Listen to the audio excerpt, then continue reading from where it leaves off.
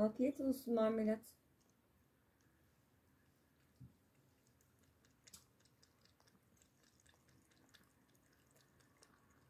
Kabın değişti değil mi güzel geldi bu sefer? Hı?